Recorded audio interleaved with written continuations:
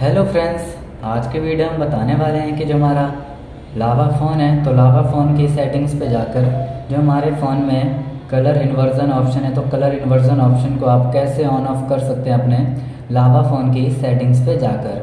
तो video start करने से पहले हमारे चैनल को लाइक करें सब्सक्राइब करें और साथ में बेल आइकन दबाना ना भूलें। तो वीडियो स्टार्ट कर लेते हैं। तो आप देख सकते हैं कि फ़ोन के आइकन्स तरीके से शो हो रहे हैं। तो आपको स्वाइप कर लेना है। स्वाइप करते ही ऑल आइकन्स ओपन हो जाएँगे।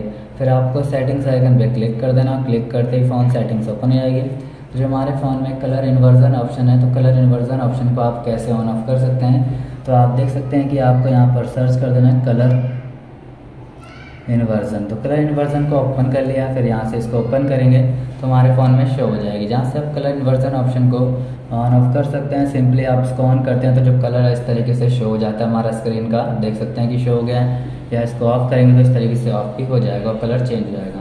तो इस तरीके से आप कलर इन्वर्जन ऑप्शन को ऑन ऑफ़ कर सकते हैं, और साथ में अगर आपको कलर इन्वर्जन सेटिंग्स नहीं मिलते तो आप फ़ोन सेटिंग्स में जाकर भी इसको ऑन ऑफ़ कर सकते हैं। हमारे आइकन शो हो रहे हैं, इसमें से आपको स्वाइप करना है। स्वाइप करते ही क्लिक कर देना आपको।